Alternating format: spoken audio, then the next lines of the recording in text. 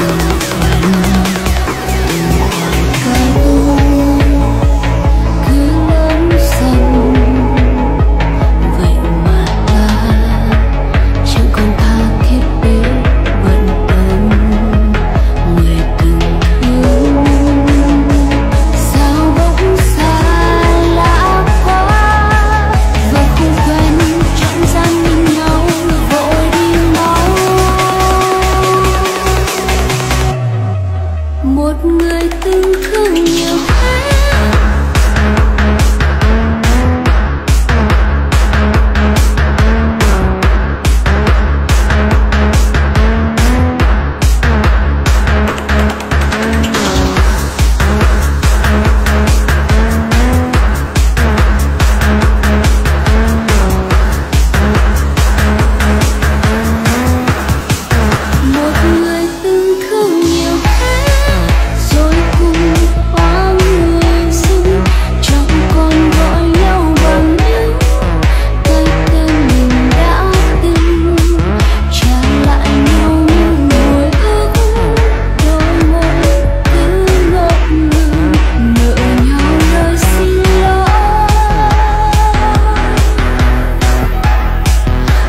remember